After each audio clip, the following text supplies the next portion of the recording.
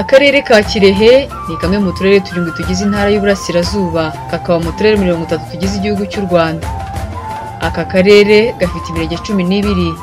Ariyo gahara gatore kigarama kigina kirehe mahama mpanga musaza mushikiri nasho nyamugari ndetse na nyarubuye. Aka karere ka kirehe kari ku buso bwa kilometero igihumbi n'ijana na mirongo icyenda n'ebyiri. Kakaba gahana imbibi n'igihugu cya tanzania mu burasirazuba bwaho mu majyepfo yako hari igihugu cy'u burundi muri aka karere ka kirehe hanyuramo umugezi w'akagera. Aka karere kandi kakaba gafite amashyamba meza atera amahumbezi. Ibirenze kuri ibi ishusho nyayo ubudasa bw'akarere ka kirehe. Ni kuri wa gatandatu tariki ya makumyabiri ukwezi kwa gatandatu umwaka w'ibihumbi bibiri na makumyabiri hamwe n'ubuyobozi w'akarere ka kirehe bwana muzugu gerard muri studio za btn tv kuva isaa moya kugera isaa mbiri z'umugoroba. Nimucikwe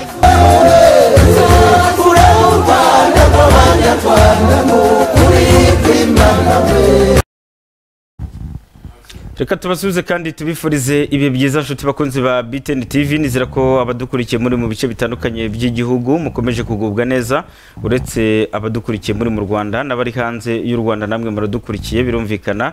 Uh, uretse kudukurikira kuri Times kuri chaîne ijana na gatandatu n'abadukurikiye kuri Canal Plus kuri chaîne ya magana atatu na mirongo inani n'umunani namwe muradukurikiye haba mu Rwanda ndetse no hanze y'u Rwanda. Ndetse n'abadukurikiye kuri satellite kuri magana arindwi na mirongo inani na kabiri nizera ko mukomeje kugubwa neza. Njye rero ndi Celestin Habirushomo ko mumaze kumenyera tuba turi kumwe n'abayobozi batandukanye ariko nanone tureba mu kubaka igihugu cyacu. Tujye kureba isura y'akarere ka Kirehe. Muri kano kanya muratwihanganira nk'uko icyo kirango cyabivugaga ko twari gutangira isaa moya. Kugera isaa mbiri uh, ntabwo byadukundiye eh, birumvikana kubera indi mirimo nyine umuyobozi yari afite. Ariko muri aka kanya turi kumwe reka mpite nanamuha ikaze muri studio za BTN TV reka tubakire. Murakoze cyane. Eh, turabashimira. munibwira abadukurikiye murakoze nitwa muzungu gerard nkaba ndi umuyobozi w'akarere ka kirehe. Turashimira btn tv na radiyo yatwakiriye hano muri studio zayo. Murakoze cyane. Eh, muri kano kanya rero nk'uko abadukurikiye mumaze kubibona ndetse munabyumva turi kumwe n'umuyobozi w'akarere ka kirehe bwana gerard muzungu. Ah, tugiye kuganira kuri byinshi bitandukanye tugiye kwibanda ku isura y'akarere ka kirehe. Eh, hagati aho mubaza kudukurikira mutanga ibitekerezo turaza kubafungurira imirongo. Muraza kuduhamagara kuri zeru karindwi umunani gatandatu gatandatu umunani gatanu amazeru atatu nk'uko mubibona ku masikirini yanyu. Iki kiganiro rero turibanda ku isura y'akarere ka kirehe. Turibanda kuri byinshi bitandukanye hari imibereho myiza y'abaturage hari ibijyanye n'ubutabera birumvikana hari ibijyanye ibi byose bikorwa kubera umutekano dufite w'igihugu cyacu eh, ndetse n'amahanga ajya twigiraho byose byo guhishira eh, ahubwo ni byo tugomba kugira eh, nk'intandaro y'ibikorwa byiza tugomba kubakiraho. Eh, turaza kureba ku bijyanye n'ubukungu. Turaza kureba kandi ku bijyanye eh, birumvikana uretse ubukungu imibereho myiza y'abaturage. Ariko kandi turaza kureba n'ibijyanye n'imiyoborere mu karere ka kirehe cyangwa se akarere mubereye abayobozi. Reka rero mbere y'uko twinjira mu kiganiro nyirizina mubanze muduhe ishusho cyangwa se isura y'akarere ka kirehe. Ni akarere gateye gate kameze gute? Eh, ni iki kikaranga by'umwihariko ku badukurikiye? Murakoze cyane celestin. Mbere na mbere turabashimira kuba mwatwakira hano muri studio. Akarere ka kirehe ni akarere kari mu burasirazuba bw'u rwanda mu ntara y'uburasirazuba nk'uko mubizi. Kakaba eh, mu bijyanye n'aho gaherereye eh, ni akarere gahana imbibi muri mu burasirazuba bwako n'igihugu cya tanzania ndetse n'igihugu cy'u burundi mu majyepfo mu majyaruguru twahana imbibi urumva ko duhana n'imbibi n'ibihugu bibiri eh, tukagira nanone eh, akarere ka kayonza kari mu majyaruguru n'akarere ka ngoma kari mu burasirazuba. Mu by'ukuri eh, isura y'akarere ka kirehe tuyibona mu buryo bwagutse mu nkingi zitandukanye zijyanye n'ubuzima bw'igihugu n'ubuzima bw'akarere muri rusange. Ariko by'umwihariko navuga ko akarere ka kirehe ari akarere kamwe mu turere tw'icyaro ariko gafite umuvuduko ugenda uzamuka kazamura nanone n'ibijyanye n'amasantere ndetse n'imijyi.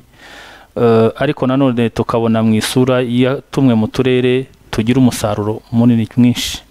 Umusaruro uturuka ku buhinzi n'ubworozi kubera ko nk'uko nivuga ni akarere k'icyaro eh, ku buryo kari mu bimwe mu turere na leta ishoramo imbaraga cyane mu bijyanye n'ubuhinzi n'ubworozi kubera amahirwe gafite amahirwe ashingiye ku butaka bwiza n'abaturage bashoboye ariko amahirwe ashingiye no ku mazi menshi ashobora gutuma umusaruro wiyongera. Ni akarere gafite abaturage bagera mu bihumbi magana ane n'icyenda eh, kugeza uyu munsi Eh, aka karere kakaba abenshi ari urubyiruko. Eh, bikaba bifite icyo bivuze mu igenamigambi ni ukuvuga ko hari amahirwe cyane cyane ifite igihugu akarere gafite urubyiruko rwinshi n'imbaraga zijyanye n'ibikorwa bibashobora gukora. Eh, kakaba ari akarere nanone tubonamwo ibikorwa remezo bitandukanye.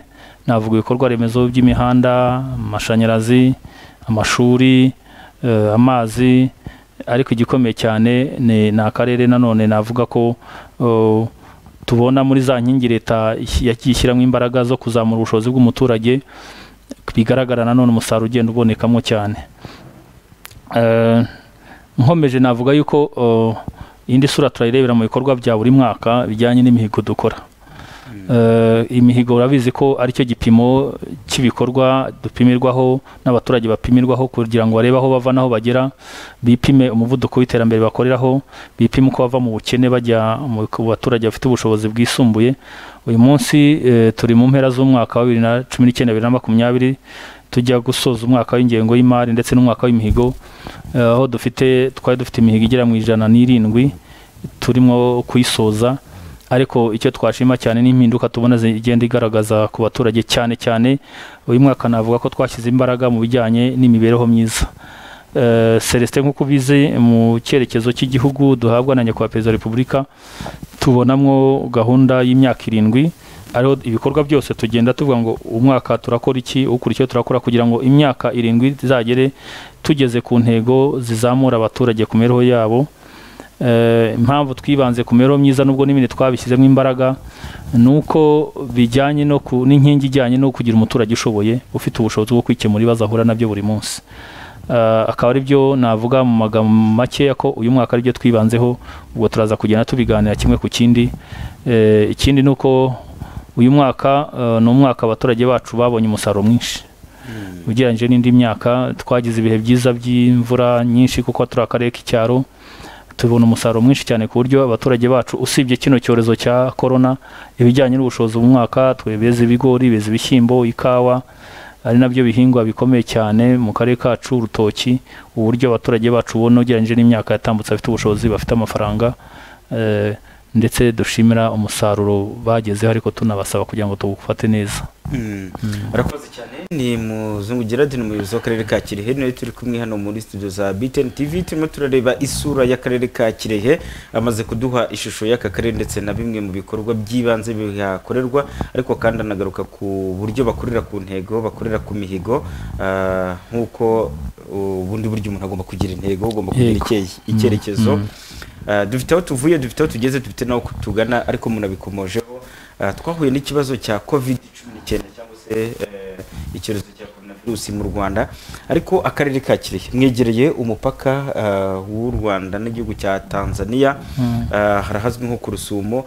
Mubanze mutubwire ingamba mufite uburyo mwahanganye n'iki cyorezo cya covid cumi n'icyenda hanyuma tubone kwinjira mu bindi bikorwa bijyanye eh, n'imihigo Eh, n'abadukurikiye by'umwihariko n'abari kirehe cyangwa se abakomoka kirehe.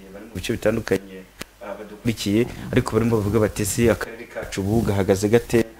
Ko twumva rubavu ishyirwa mu kato tukumva rusizi iri mu kato tukumva kirihe eh, ko ibikorwa bimwe birakomeza ariko bigakomeza naho hari amakamyo yambuka umupaka. Bihagaze gute? Mwitwaye gute? Mu gihe cya covid cumi n'icyenda. Nibyo celestin eh, urugamba rwa covid ni urugamba rwosaba buri munyarwanda wese cyane cyane kuko ari urugamba rureba n'ubuzima. Ubuzima ibyo twakora byose habanza ubuzima tugomba kurengera ubuzima kugira ngo n'ibindi tubikore. Eh, nk'uko nabivuze akarere kacu ni akarere kari ku mupaka umupaka uhahirana n'ibindi bihugu.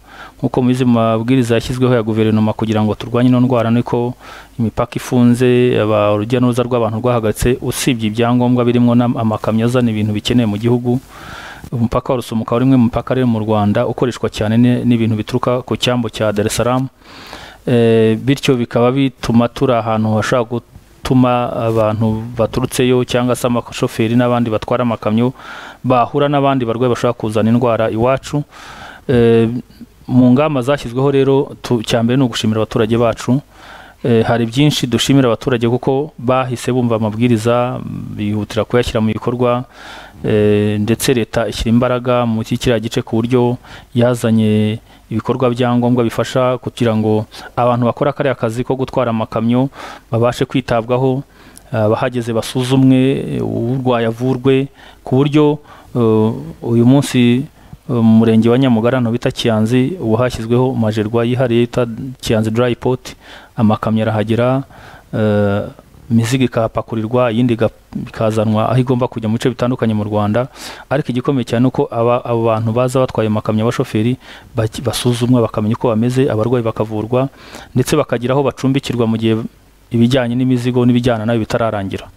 Ariko n'ikindi ni uko abaturage batuye kariya gace yaba ubukangurambaga bukorwa n'ubuyobozi bukuru bw'igihugu cyacu natwe ubwacu nk'urwego rw'ubuyobozi bw'akarere twashyizemo imbaraga dufatanyije n'abaturage kugera ku rwego rw'abajyanama b'ubuzima ku buryo buri muturage wese niba hari umuntu aho yaba aturutse hose atazwi aho yavuye amenyekana agapimwa kugira ngo tumenye yuko mu baturage bacu nta burwayi burimo.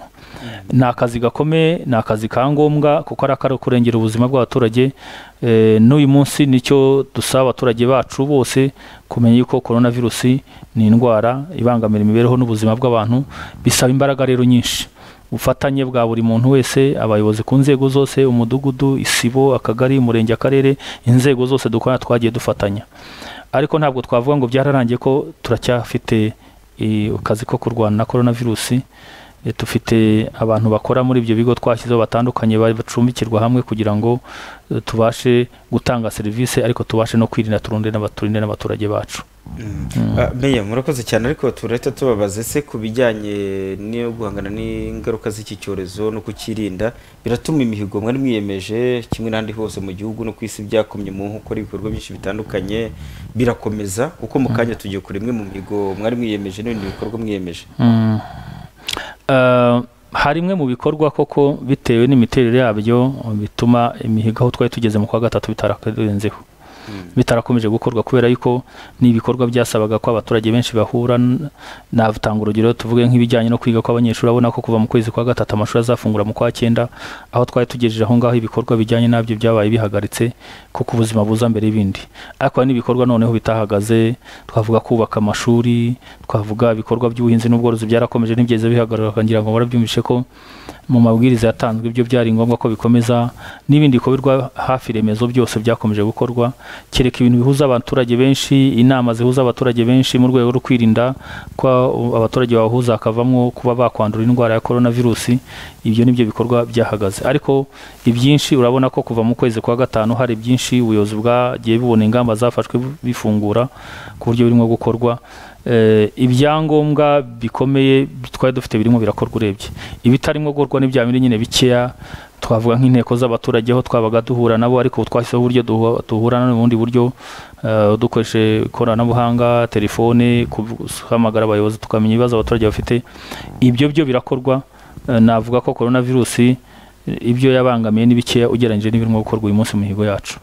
Agace k'uburasirazuba kazwiho kugira urutoki mu buryo budasanzwe tujye ku buhinzi Yego. eh, tuhite tujya no ku bworozi. Mm. Eh, hari umuntu wabivuze neza cyane avuga ngo ni nk'umugabo n'umugore. Ubuhinzi n'ubworozi Eh, biragendana. Muhite mutubwira ku bijyanye n'ubuhinzi n'ubworozi kirehe ni iki? Umuntu avuga ngo iki wacyasanga twibanda kuri iki. Mm.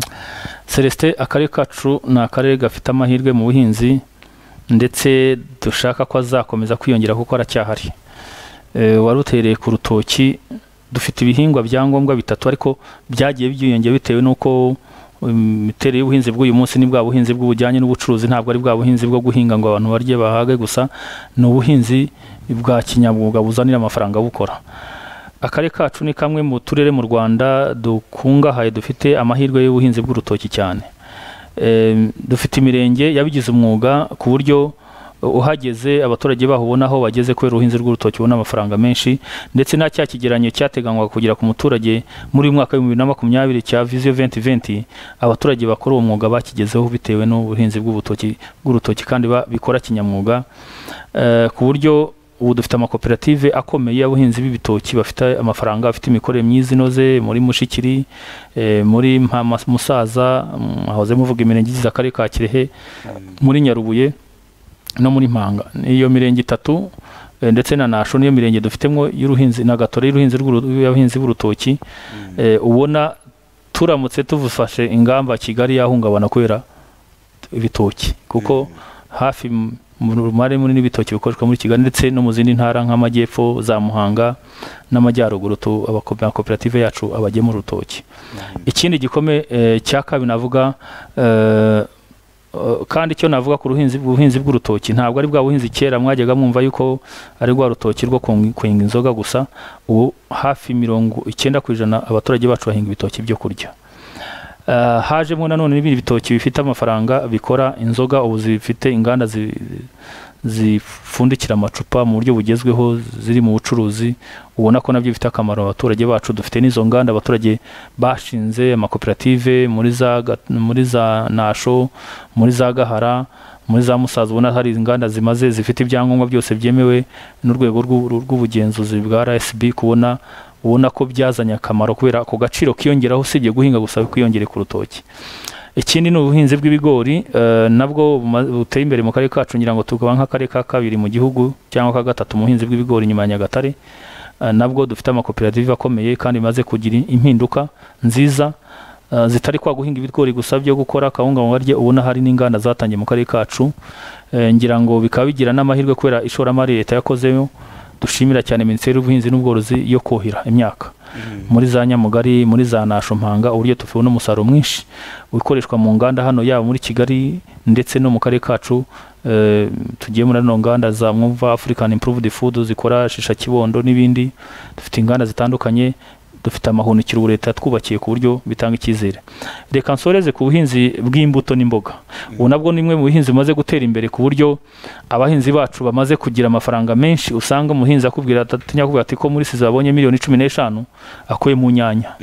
Ubuhinzi bw'inyanya ubuhinzi bwa wotameroni ubuhinzi bw'ubutunguru ubona ubutunda amatunda akoreshwa muri za ji ubona abaturage bacu bamaze kubihagurukira cyane muri cya gice cyegereye amazi n'ibiyaga ubona inganda nyinshi ubu abaturage bacu nibo bagemurira inyanya mu mujyi wa kigali eh, rubavu ndetse na goma ku buryo dufite n'abacuruzi baba baravuye rubavu baba baje kugura inyanya hariya iwacu ku buryo ubona bizana amafaranga.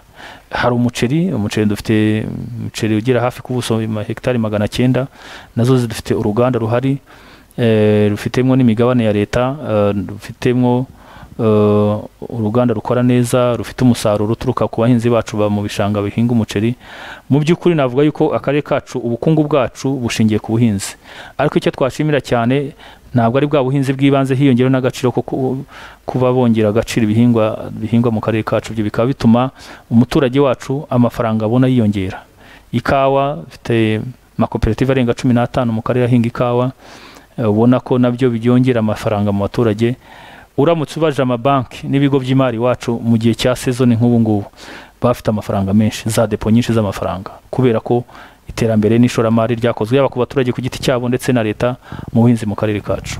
Urakoze cyane. Ni muzungu gerard ni umuyobozi w'akarere ka kirehe ni we turi kumwe muri studio. Hano ni kuri btn tv gendera seretse ntabisha amaboko ndi kumwe na trezor ku buhanga bw'ibyuma ndetse na irene. Reka nsabe ku buhanga bw'ibyuma. Ah, meya hari ibikorwa byinshi muba mwakoze gutya bigaragaza n'iterambere ku buhinzi ah, mu karere muyobora ariko n'abaturage bavuga ngo ariko mutubarize meya.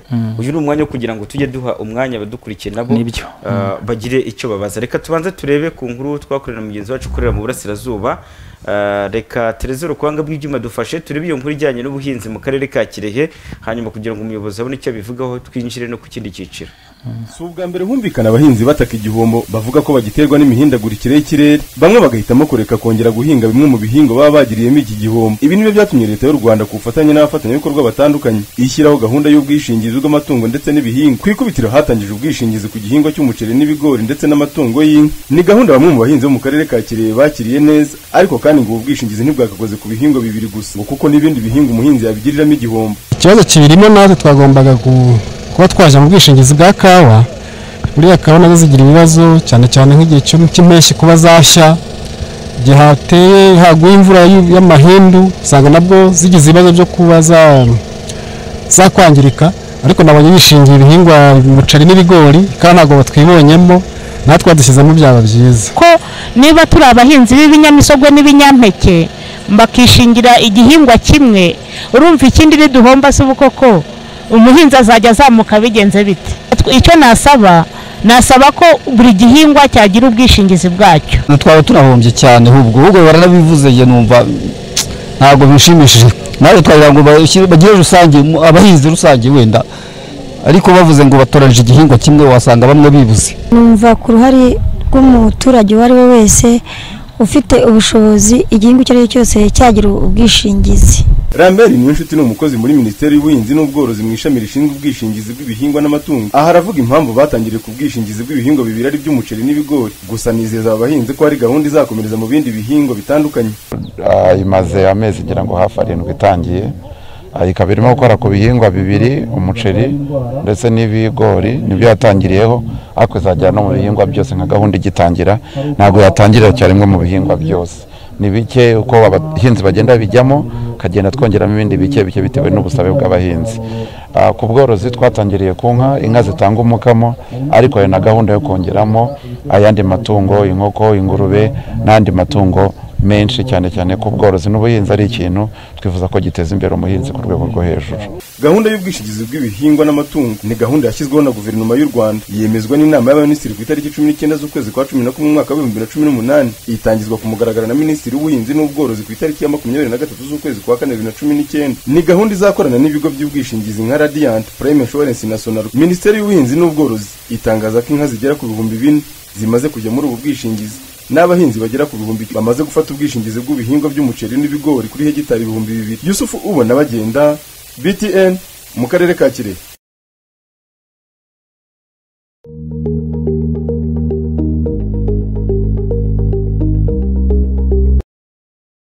By'umwihariko kijyanye eh, n'ibibazo by'abakora ubuhinzi ariko w'aka karere yamaze kubisobanura neza cyane. Eh, turaza guhita tubihuza mbere uko meya mugira icyo mubivugaho.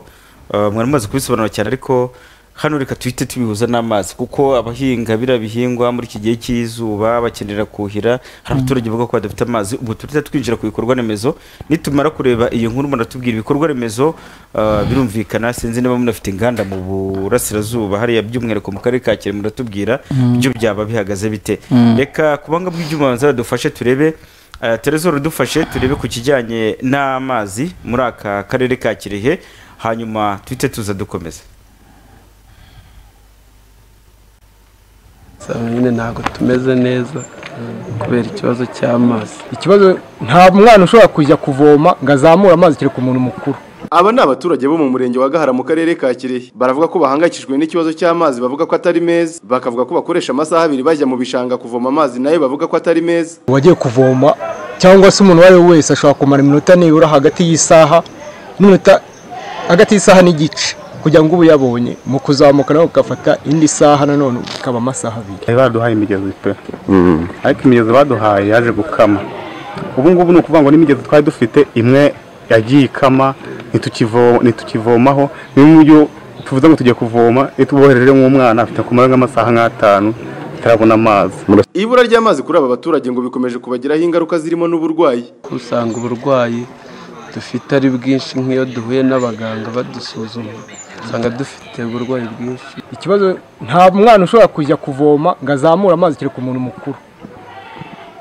Aho hantu ni ho tugira izo- mbogamizi. Natwe turasaba amazi turasaba ngo wenda iyo migezi yapfuye kugira ngo bongere bayikore. Ni uko umuntu hari n'igihe ajya kuvoma akayabura agasanga hari abantu benshi bari kurwana bari kubyigana. Umuntu akaba yagenda akamarayo nk'isaha cyangwa se nk'amasaha abiri atarazana amazi. Kandi n'ayo mazi akaba aturuka ahantu habi cyane hanagoranye. Kuyabona biragoranye.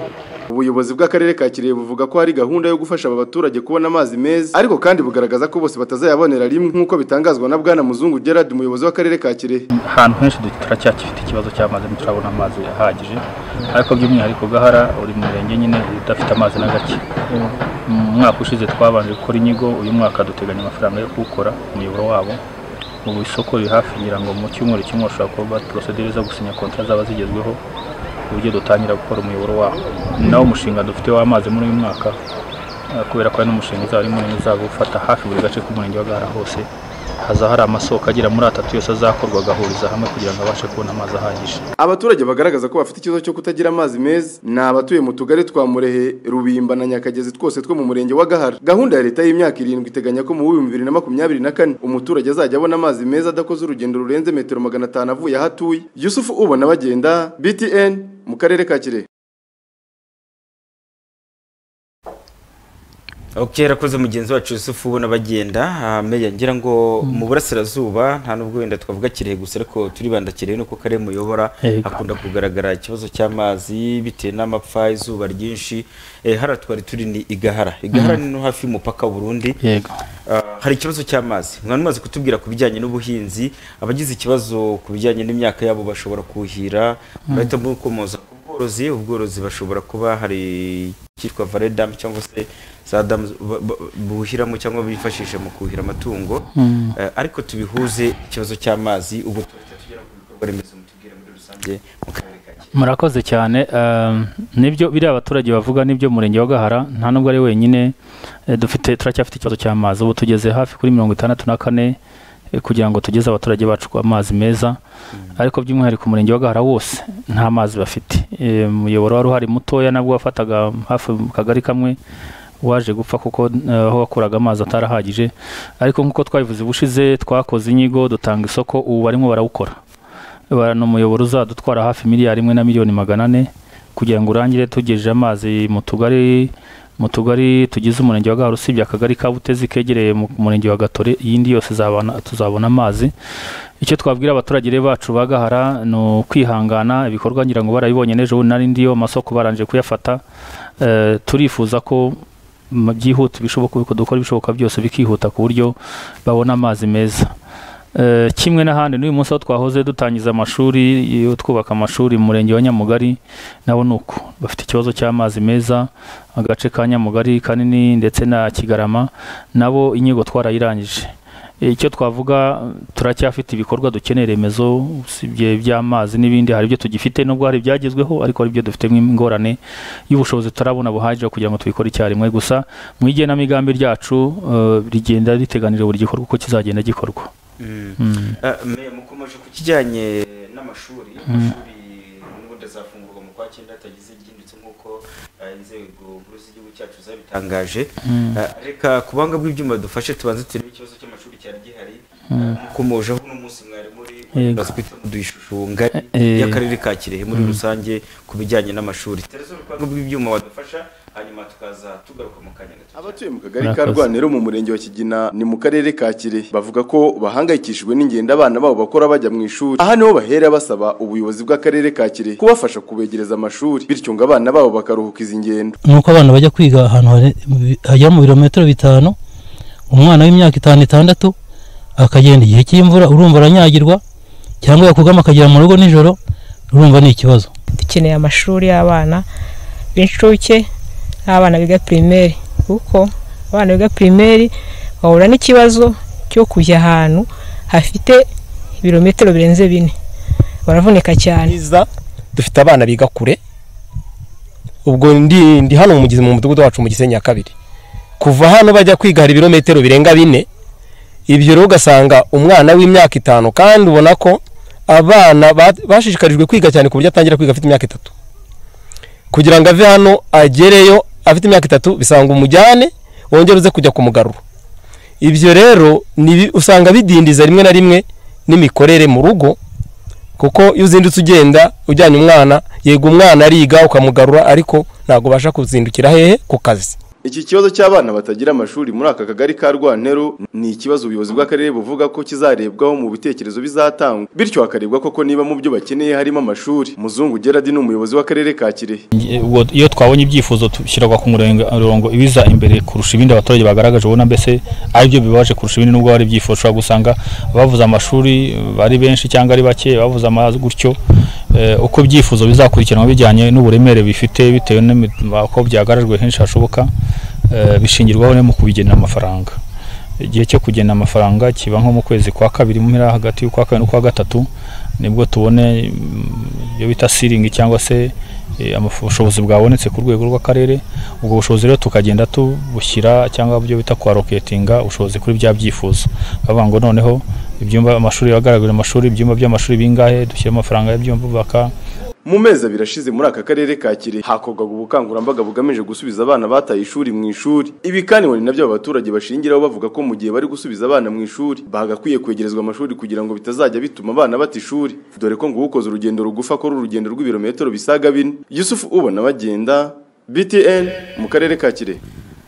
Arakoze cyane mugenzi wacu Yusufu ubona bagenda. Meya twari tumaze kubigarukaho tuvuga ko ku kijyanye n'amashuri uyu munsi hari naho ah, sinzi niba ari umuganda ariko hirya no hino mu gihugu nzi ko hakozwe umuganda. Mhm. Ah, mu mashuri mwubakaga murimo murategura ah, itangira ry'amashuri mu kwezi kwa cyenda.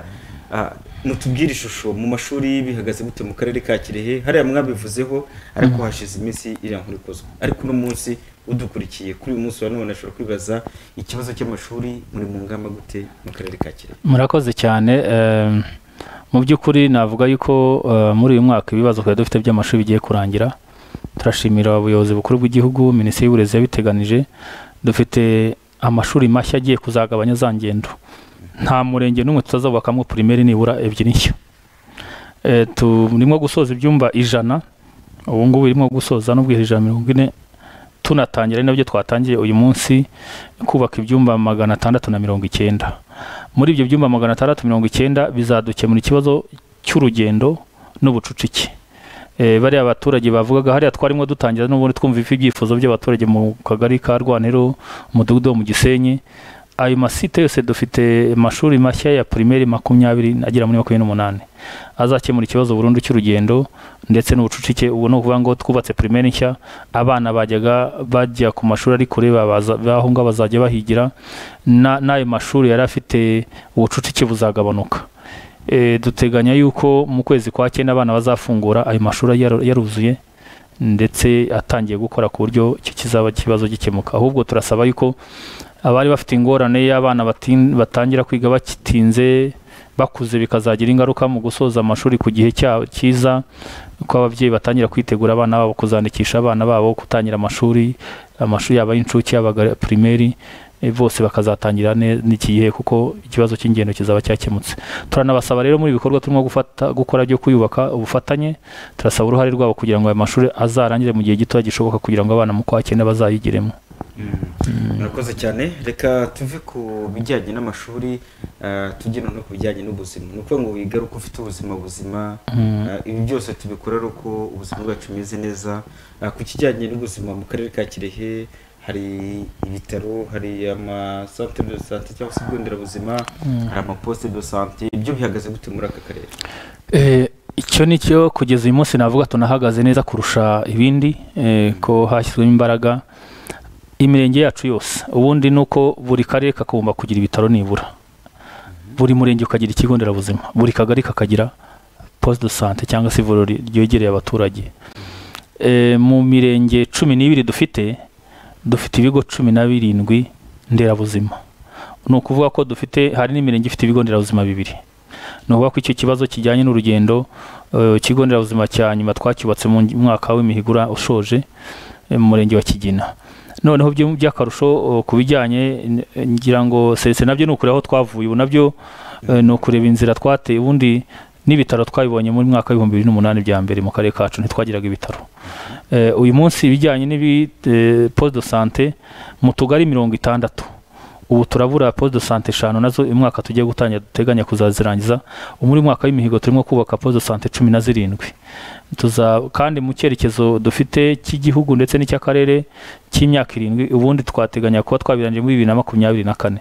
Ariko twebwe muri bibiri na makumyabiri na rimwe tuzaba turimo dusoza kubaka poste de sante kandi n'izirangije gukora nk'izo turimo gusoza guhera itariki ebyiri z'ukwezi kwa karindwi. Zizaba zirimo zivura abaturage bacu. Ariko icyo tuvuga aho ngaho ngira ngo mbikubwire neza abaturage bacu myinshi bagiye bagira uruhare bakaziyubakira zikarangira. Nta mafaranga ya leta kubera uruhare rwabo bumva akamaro kabo. Urebye ze- zagiye zitwara n'ibikombe by'imihigo mu mirenge ya za cyanya mu mirenge ya za nyamugari za rugarama amako mu tugari twa cyamigurwa rugarama cyanya abaturage bagiye bubaka poste. De sante nziza wayigeraho ukabona ifite agaciro gakomeye cyane. Eh, igisigaye rero turimo kureba ni ukugira ngo zikore neza zibone ibyangombwa ibikoresho ikindi ni ugusaba abaturage kugira ngo bishyure mituweli do sante kuko nanone kugira ngo uvurwe ugomba kuba wariteganyirize. Turabasaba ubu ngubu turashaka ku itariki mirongo itatu abaturage bacu badukurikiranye inzego zose dufatanya ku buryo abaturage bacu bishyura mituweli do sante ku buryo ibigo turimo kuvuga bizataha mu matariki abanza y'ukwa karindwi tuzabitahe batangira kuyivuriza kandi bariteganyirije.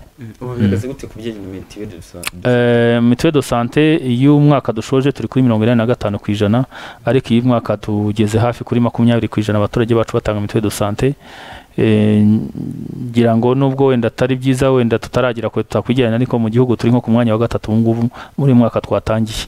Turasaba abaturage rero badukurikiye ba kirehe gushyiramo imbaraga naho twahoze biyemeye ko bafite ibibina byabo barimo guterana abenshi bazagabana amafaranga ku wa mbere no ku wa kabiri Eh, twemeye ko bagiye gutanga mituweli do sante bamaze kubisobanukirwa akenshi usanga turi imbere muri mituweli do sante cyane kubera abaturage bacu bamaze kumva akamaro kabyo ariko nanone bikagira isano na rya vuriro riri hafi nyine urugendo rutaza kuba rurerure Mm. Mm. ariko meya hano umuntu ashobora kwibaza ku bijyanye n'ubu buryo bwo kwivuza hari ikintu kijyanye n'amabaruwa abantu bigeze kurekarama cyangwa se kugaragaza bati ntabwo tubona amabaruwa tujyana mu kazi Mm. nk'abakora ubuvugizi iki buhagaze he wenda mbere ko mubisubiza reka nsabe ku buhanga bw'ibyuma babanze bamfashe dukurikirane iyi nkuru hanyuma tuze tugaruka mutubwire kuri uno munota ibyo byaba bigeze.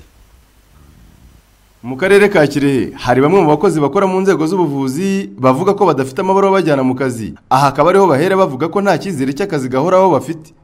Hari ukuntu nyine bagiye batanga imyanya ijya- ku isoko bamwe ntibabasha kubona. Baramutse bampaye lettre d'affectation icyo byamarira byatuma nkora akazi neza ni- nitonze nta mpungenge nk'uko nsanzwe mbikora. Bikaba byampa n'icyizere ku buzima bwanjye bw'ejo hazaza nkaba nateganya n'ibindi bintu byangirira akamaro. Ikigaragara ni uko eh, iyo umukozi adafite appointment leta nyine ntabwo aba ari umukozi. Bushobora gucya bakakubwira ati contract yahagaze wari utunze umuryango umuryango nawe ubuzima bwabo bukahazaharira. Njye nageze mu kazi bibiri na cumi na rimwe ariko kugeza uyu munsi uba wibaza buri mwaka buri mwaka kuki izo appointment leta zitaboneka. Aba bakozi kandi bakomeza bavuga ko iyo udafite ibaruwa ikujyana mu kazi bishobora gutuma udakora neza ukaba wajya gukora ibizamini ahandi kugira ngo ube wabona akazi gahoraho. Ah, ni ugusenga imana nyine ikabidufashamo nk'uko dusanzwe tubayeho kuko nari maze imyaka itandatu. Akazi gakora neza nk'uko bisanzwe ariko wumvishije itangazo ritanga akazi urabyumva nawe wahita ujya kudepoza ushaka akandi kazi wenda kaguhereza. Ko iyo udafite appointment leta nyine ukabona akazi kandi niyo kaba kaguhemba make uragerageza ukigira muri ako ngako kuko uba wizeye ko uzagatindamo ubuyobozi bw'akarere ka kirehe buravuga ko abemerera amabaruwa y'akazi ari abakoze ibizamini by'akazi bigengwa na sitati. Muzungu gerard ni umuyobozi w'akarere ka kirehe. Abakozi bakora muri serivisi z'ubuzima badafite ibaruwa z'akazi abatazifite eh, abakozi bagengwa n'amategeko abiri. Hari abagengwa na sitati n'abagengwa na, rebaro aba contractuel hari abarimo rero abenshi bajemo ari aba- ari aba contractuel n'ubundi ugengwa n'amasezerano kugira ngo ajye kugengwa na sitati. Itegeko riteganya ko apiganirwa uwo mwanya. Abenshi mubona bariya mubare batayabona ni ukuvuga ko ari abagengwa n'amas- n'amasezerano. Mu karere ka kirehe mu bakozi magana ane na makumyabiri na batatu bakora mu nzego z'ubuvuzi ijana na mirongo itandatu n'icyenda muri bo nibo bafite amabaruwa bajyana mu kazi. Yusufu ubona bagenda btn nari mu karere ka kirehe.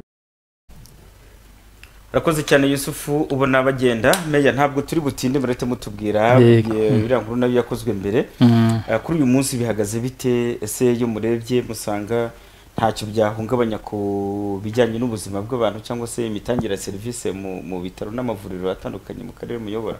Murakoze eh, mu by'ukuri buriya eh, ku bijyanye n'abakozi nuko n'ibibagenga nk'uko nabisobanuye bushize tugira abakozi bagengwa na stati ni ukuba barapiganiye imyanya na, n'imbonerahamwe y'imirimo eh, ya minisiteri y'ubuzima.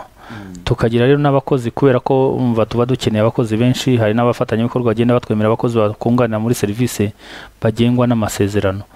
Eh, abakozi rero bo mu bigo by'ubuvuzi wacu yaba none igihe kizaza nta n'imwe tutazagira abagengwa n'amasezerano.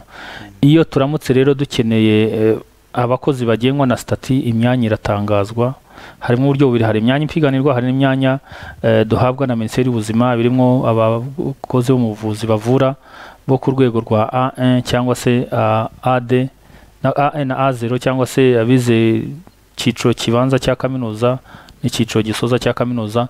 Abo bakozi b'ubuvuzi tuhabwa na minisiteri iyo dufite iyo myanya dufitemo abura twandikira minisiteri ikabatwoherereza y'ubuzima. Ariko abandi niba hari abaterankunga cyangwa se hari ubushobozi ibigo nderabuzima byabonye cyangwa ibitaro bata- batateganijwe kuri stati cyangwa se ku mbonerahamwe y'imirimo turapiganishwa. Hari igihe nyine abakozi baraje gutyo bakaza ba- bagengwa na na, kontra cyangwa se n'amasezerano bahembwa mu buryo butandukanye aho inkunga zagiye zituruka. Iyo babonye rero hari imyanya kuri stati akenshi bifuza kuyijyaho ariko inzira ni yayindi niyo kuyipiganishwa noneho bijya n'amateka yagiye abaho ukuntu inzego z'ubuzima zagiye zihindagurika imikorere yazo n'imigenzereze yazo cyangwa se imiterere yazo hari igihe n'ubundi bahabwaga n'imirimo eh, ba- n'ibyo bita kosa kosa ni komite y'ikigo nderabuzima ishinzwe kugenga no gucunga ikigo nderabuzima. Hari igihe rero muri za bibiri n'umunani bibiri n'icyenda zakoza zahaga abantu akazi ariko kagengwa n'amasezerano. Aho rero habayeho mm, sitati nshya y'inzego z'ubuzima abo bakozi abenshi bifuje kujya kuri sitati ariko ubu mukozi amateka ye niyamukurikirana burya.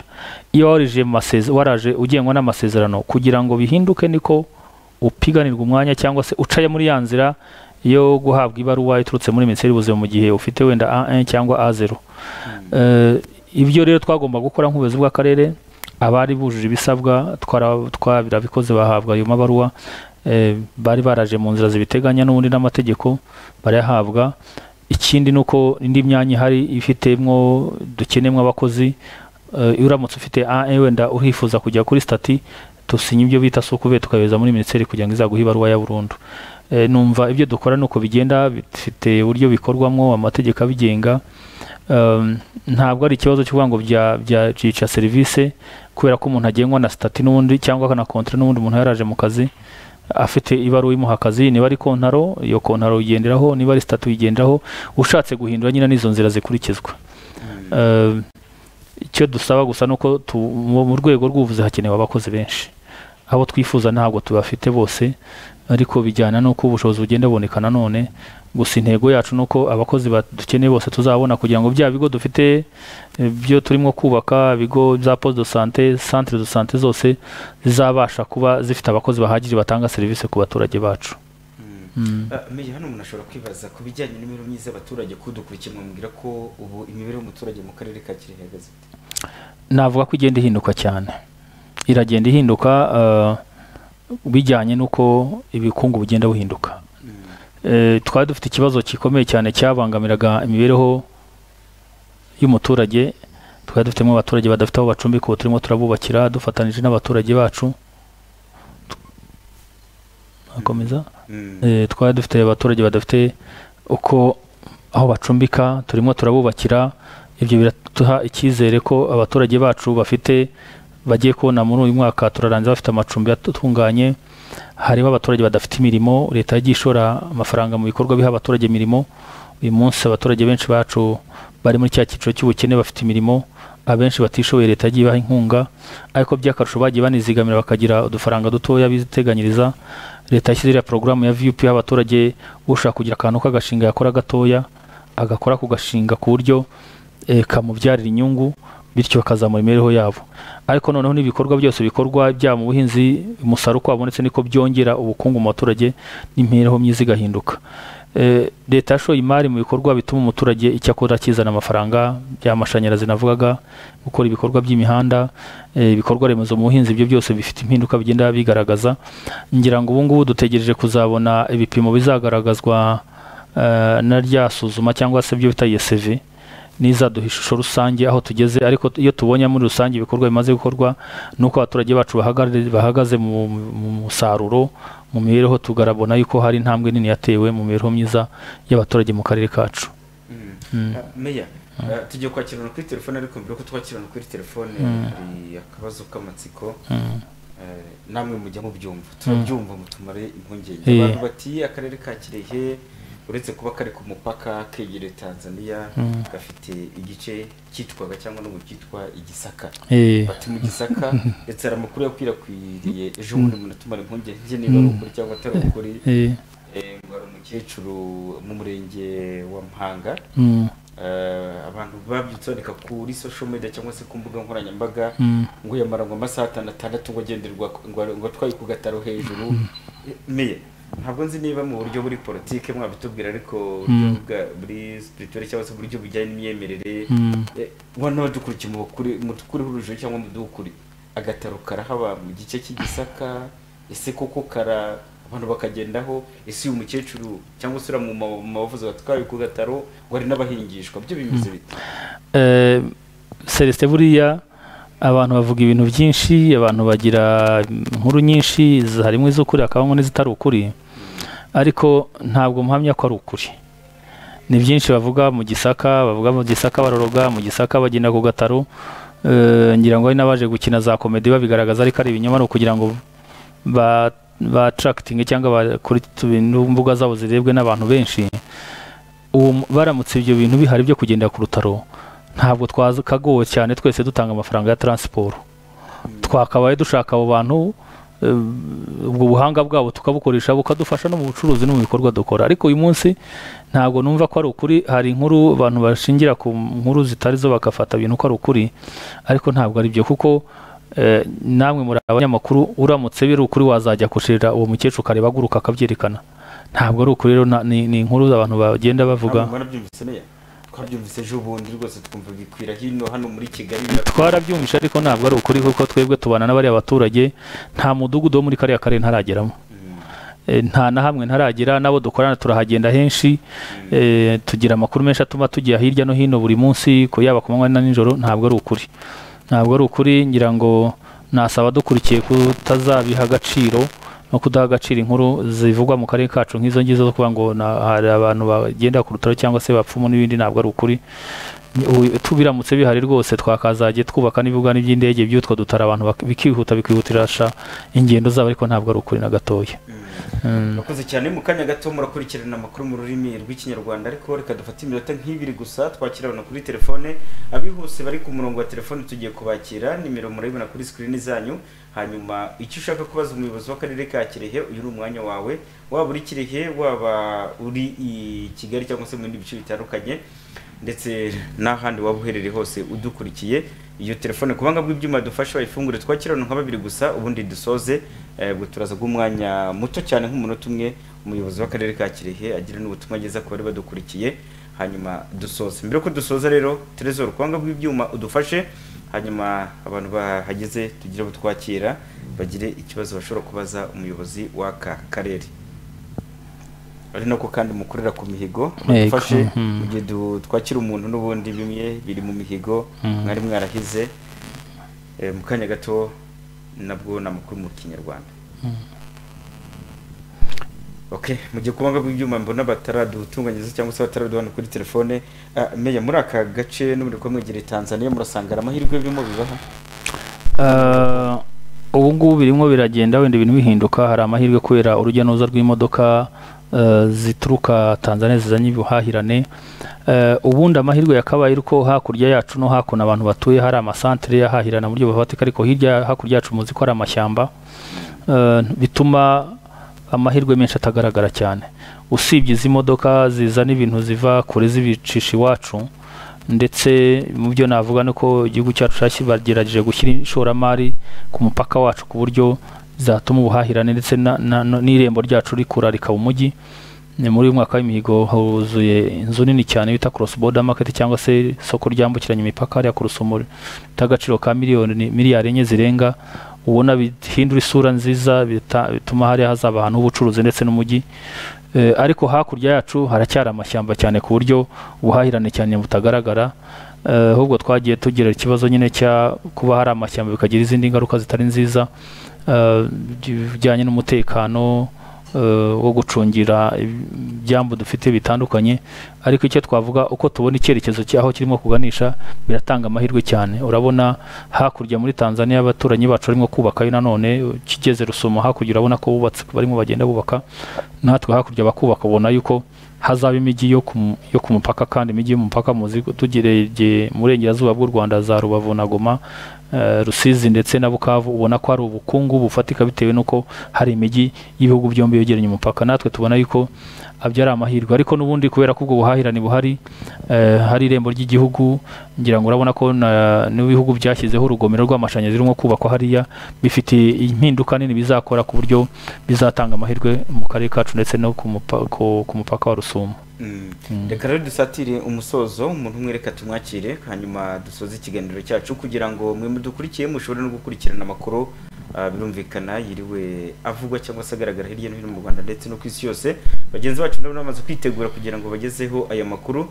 Ah, reka nakire umuntu umwe kuri telefone. Televiziyo uradufasha tukakira umuntu umwe hanyuma tugahita dusoza ikiganiro cyacu. Menya namwe ari nako mufata umunota umwe wo Mm. kugira ngo mugire ubutumwa mugeza ah, birumvikana ku baturage ba kirehe cyangwa se n'abakomoka kirehe bari mu bindi bice bitandukanye n'abanyarwanda muri Mm. rusange. Ah, sinzi niba kuvuga biba byadukundiye reka murakoze cyane eh, mm. mbere na mbere ndashimira btn tv turashimira n'abaturage bacu badukurikiye. Nagira ngo mbasabe nk'uko biri mu ntego zacu zo kugira ngo eh, abaturage bacu batere imbere mu biciye mu bikorwa dukora dufatanya nabo by'imihigo. Icyo nabasaba ni uko mu bikorwa byinshi turimo gukora mu mpera z'uyu mwaka dushyiramo imbaraga cyane cyane ibikorwa byo gufasha abatishoboye kugira ngo bagire aho batura byo kubaka amashuri. Ariko cyane ku bijyanye n'ubuzima ku muzi ko ubuzima ari bwo buza imbere ni ugusaba abaturage bacu gukomeza kwirinda kubahiriza amabwiriza yo kwirinda korona virusi eh, kugira ngo tubungabunge ubuzima bwacu tuburinde icyorezo. Ariko tunateganya mituweli de sante ku buryo ntawe ujya inama n'ubuzima warwara abe yabasha kwi- kwivuza. Turanabashimira ibikorwa bakoze byo kubaka za poste de sante ndetse eh, no kubaka amashuri muri uyu mwaka. Icyo tubasaba ni uko twabwo twakubaka ibyo bikorwa remezo tutazabikoresha. Icyo dusabwa rero no kugira ngo twishyure mituweli de sante ku gihe. Ikindi umusaruro twabonye dushimira ko bakoze cyane mu buhinzi bakabona umusaruro munini ikawa ibigori ibitoki ibishyimbo. Turasaba ko bakomeza kubibungabunga bakabifata neza baka- bakahunika bagateganya. Eh, duteganye bya bindi abanyarwanda bavuga ngo kubika akabando k'iminsi ukaca hakiri kare ukakabika kure. Tubiteganyirize mu gihe kiri imbere ku buryo tuzaba dufite ibidutunga bihagije. Ariko n'umusaruro tubonye yaba uw'amafaranga tukwiteganyiriza neza tukayafata neza tukayabungabunga tukayabika ku buryo azafasha gukemura ibibazo byacu no gutuma dutera imbere. Ariko nsaba ko abegereye amazi n'ubundi turi mu gihe cy'ihinga cyo bita season C gutegura imirima kuhira kugira ngo muri season C duhige cyane imboga n'imbuto bizadufasha kwinjira muri season A Mm. Mm. reka tuhite tubashimira mwakoze cyane mwakoze cyane namwe ubwo rero kuri mwe mwari ku buhanga bw'ibyuma namwe reka tubashimire hari terezoro ndetse na janvier mwadufashije kugira ngo aya majwi n'amashusho agere ku badukurikiye atunganye neza gatanu kuri gatanu. Reka nisegure ku bari mudukurikiye mwashakaga gutanga ibitekerezo umwanya ntudukunde ko tuhita dukomeza ah, n'akabazo mbere kare kabayeho ko kwakira telefone zanyu nubwo byari bikemutse ariko umwanya ukaba umaze kuturangira nabwo nta kundi. Eh, Eh, gusa reka tubashimire mwese meya mwakoze cyane. Mwakoze cyane Celestin. Ubwo rero namwe mwari mu karere ka kirehe ndetse n'abakomoka kirehe muri mu bice bitandukanye by'igihugu no hanze y'u rwanda n'abanyarwanda mwese mwari mudukurikiye reka tubashimire ikiganiro cyari isura y'akarere ka kirehe. Mukomeze mugire ibihe byiza munogerwa na gahunda. Btn tv ikomeje kugenda ibagezaho. Genda iserese ntabirusha amaboko mwakoze cyane.